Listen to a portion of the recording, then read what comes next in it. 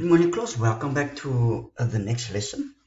And as I said, if you take a quick look at the, um, uh, the learner guide for next week, uh, this is the next topic there.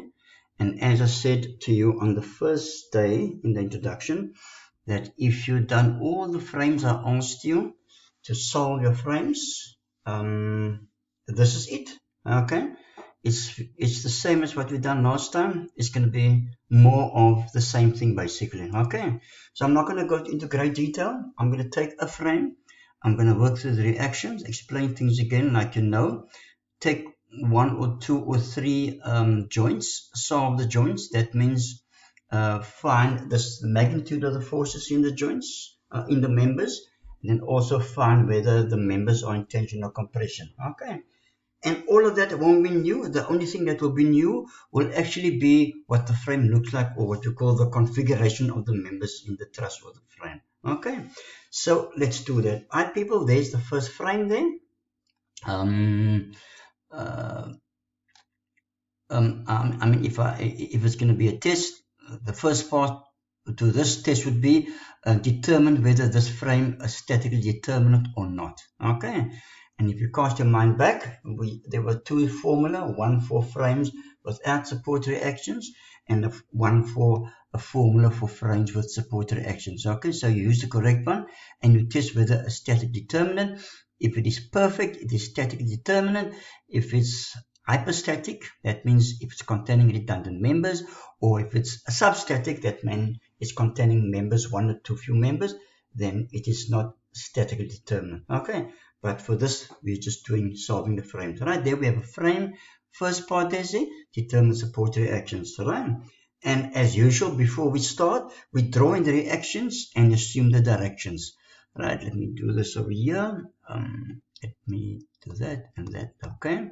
Right, so there we have a pin joint, and the pin joint has got two possible reactions. So I'm going to assume there's going to be a horizontal reaction doing something like so and there's going to be a vertical reaction doing something like so. And I'm going to and there's a roller there. So that means the roller is free to move in the vertical plane. So it is going to have one possible reaction in the horizontal plane sitting like that over there. And I'm going to name them accordingly. I'm going to call this um, I'm going to call this HB and I'm going to call this VB okay okay. And I'm going to call this HA like so. Okay. Now people if you cast your mind back a number of you um, said that there's a VA VA here does not exist. And then you do calculation in the test and I just put a big cross in there and I say VA doesn't exist. Okay. Because there's no reaction this way. Why is there no reaction? Because this member here, this, this roller, this joint is free to move there, so there's no reaction. Nothing is holding it there. There's only reaction the other way. So there's HB, VB, HA. I'm assuming left, I'm assuming upwards, I'm assuming to the right. Right. So let's take moments to find the reactions. And what did I normally say?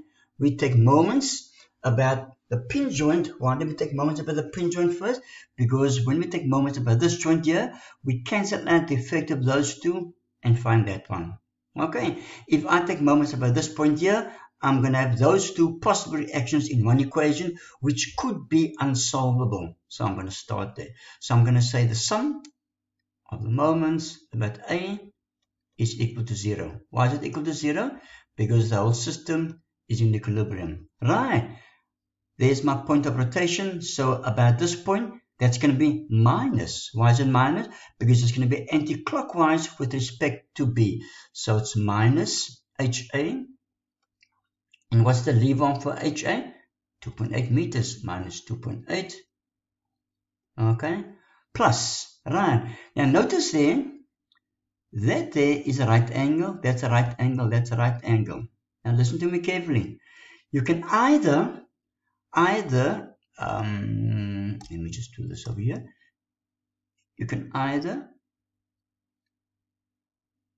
use the vertical and horizontal components of that forces which I'm drawing in right now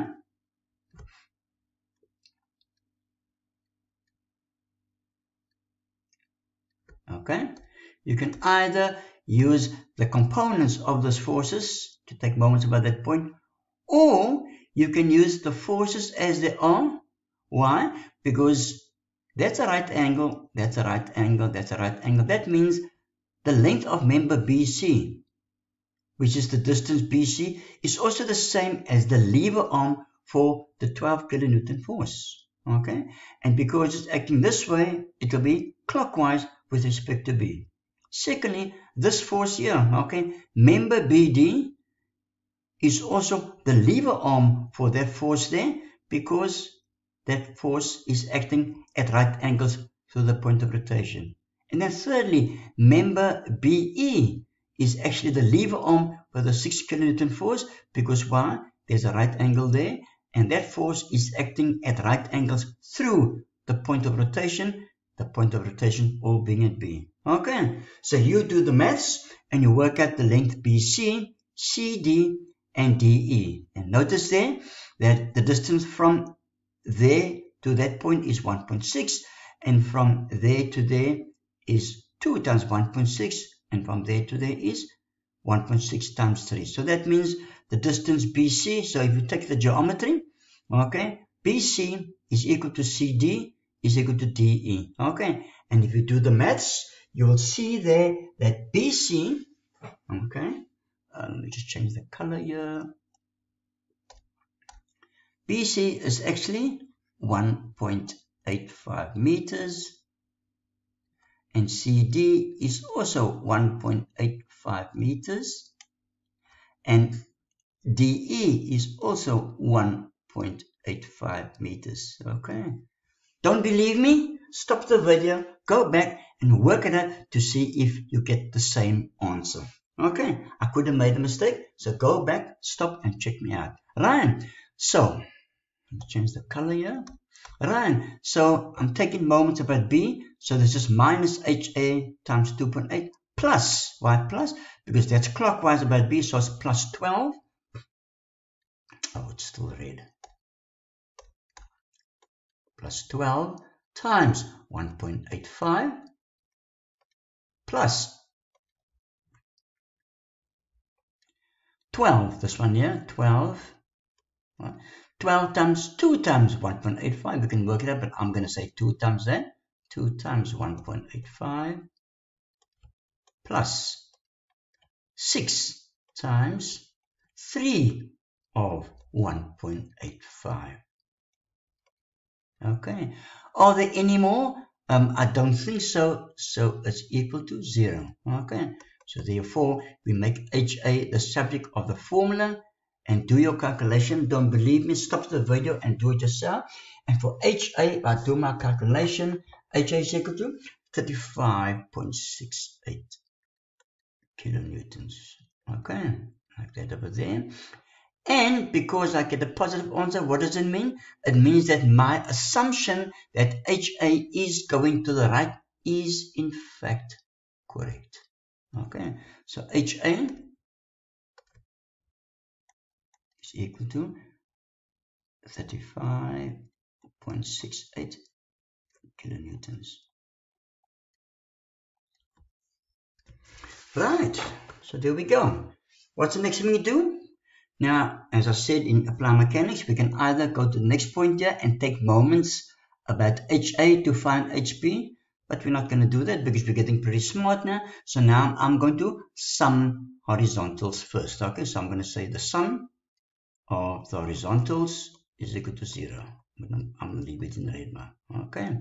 Right, people. Now, when we're summing horizontals and summing verticals, we can't use these forces as they are anymore. I can't use the 12, the 12, and the 6. I've got to use their components. Okay, so I'm summing horizontals. How many horizontals do I have? I've got HA plus HA minus HB minus that one minus that one minus that one equal to 0. Okay, right. Are you tuning in? Now people here, this angle here, what is it equal to? Have you thought about it? Okay.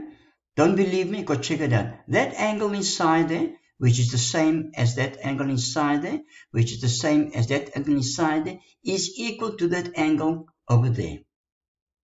Now, every every time or every year when I teach this, there's always a big debating class. Okay?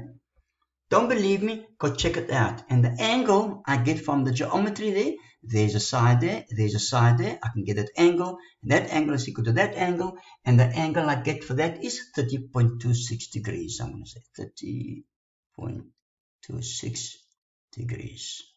That angle inside there. Okay. Right. So that component there, and that component there, that component, so that I'm going to start here, that component is equal to 12 cos 32.6 degrees. Okay, I'm going to do it. Right, so what's 12 times 30 cos 0.26 degrees? Okay, don't believe me? Go work it out for yourself. So, as I said there, that is 12 cos 30.26, and I'm going to just write the value in. It is equal to 10.36 kilonewtons. 10.36 kilonewtons. And because that's 12 and that's the same angle, that vertical component is going to be at the same value. Okay. What is that there? Okay, that's 12 cos of that angle. That will be 12 sine of that same angle. So it's 12 times sine of 30.26 and I get 6.05 kilonewtons. I'll say it again. That's 12 sine of that angle there. And because those two forces are the same, the angle is the same, so that component there, the horizontal, is also 6.05 kilonewtons. Okay. Right, people, if that's 12 and 12 and that's 6, that means these two components here must be exactly half of those. So this vertical one is half of 10.36, which is 5.18. 5.18 kilonewtons. It's getting tight here. And this is going to be half of 6.05, which is 3.02. 3.02 kilonewtons. Right. I'm now ready to sum horizontal forces. I'm going to change the color. Right. I'm summing horizontals. So HA 35.68, 35.68 is positive because it's going in the right direction. Minus HB, why is it minus? Because it's going left. So it's minus HB minus 6.05 minus 6.05 let me make this nicer rather okay? Do that. Minus 3.02 mm, minus 3.02 do we have all? 1 2 3 4 5 1 2 3 4 5 yes we have. Is equal to 0 okay. Right. Therefore we can make hb the subject of the formula.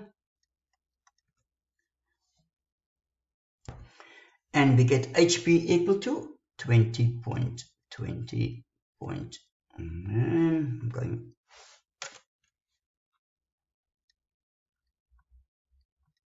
kilonewton and because the answer is positive, what does it mean? It means that our assumption that HB is going left is in fact correct. A lot of people still seem to think that if it's positive here, it's going to the right. No. That sign, the signs there is for direction. The sign here is for correctness of assumption. Okay. Because the answer is positive, it means that my assumption that HB is going left is in fact correct. So it's going left. Okay, right. I'm going to sum vertical forces. Uh, let me just do this here. Oh, sorry. Um,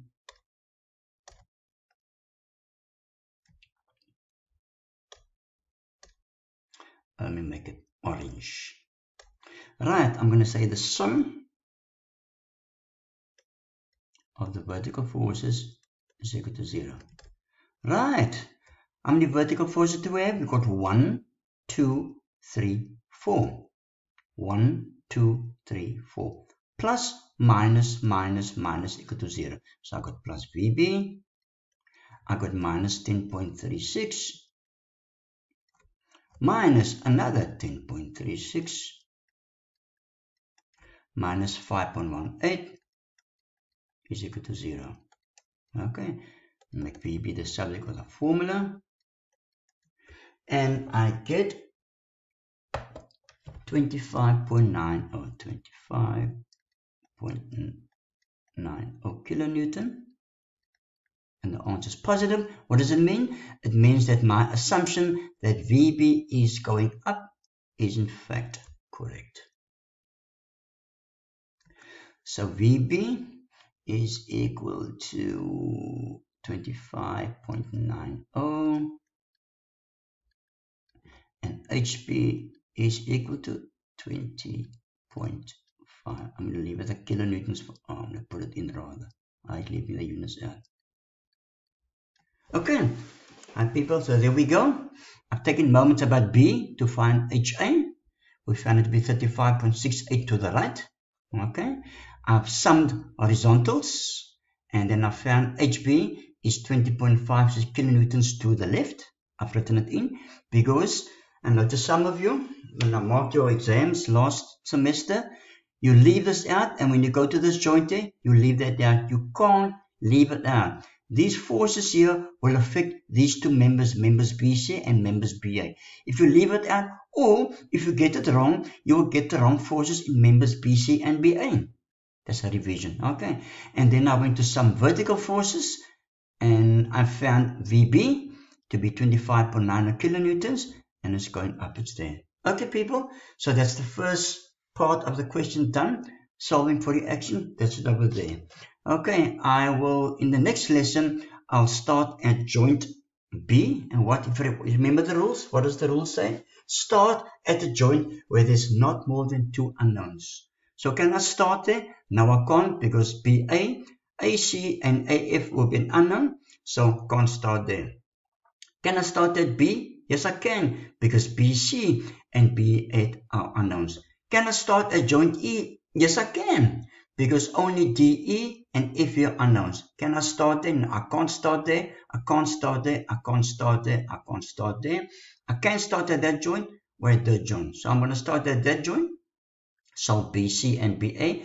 And of course, then I'm going to go to joint A. Why can I? It's because BA is solved, and now all I need to do is solve AC and AF, and so on and so on. Okay, I shall see you in the next video.